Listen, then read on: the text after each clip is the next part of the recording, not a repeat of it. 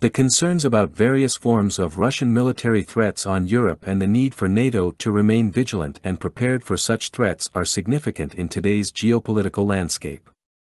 Lieutenant General Alexander Sollfrank, the commander of NATO's Military Logistics Center in Germany, recently emphasized the importance of addressing these concerns, as Nate Ostiller and the Kiev Independent News Desk report.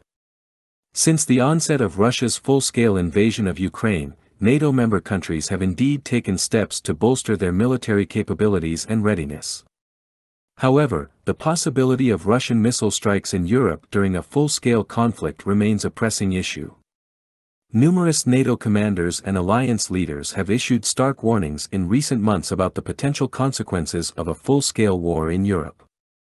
Lieutenant Admiral Rob Bauer, the chair of the NATO Military Committee, has even suggested that NATO nations should prepare for such a conflict within the next two decades.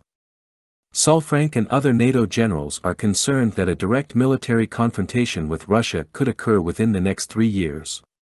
Germany, being a central logistical hub for NATO in Central Europe, could be a prime target if such a conflict were to unfold. One of the challenges highlighted by Sollfrank is the current distribution of NATO forces across the continent, which may require difficult resource allocation decisions during a crisis. Additionally, there are compatibility issues with NATO equipment and personnel that could impede an effective response. Therefore, streamlining processes and ensuring readiness are crucial steps to address these potential threats effectively. So, the concerns regarding Russian military threats on Europe, including the possibility of missile strikes, are real and require NATO's continuous vigilance and proactive defense strategy to safeguard the region's security. The need for preparedness, resource allocation, and coordination among NATO member countries remains paramount in the face of these challenges.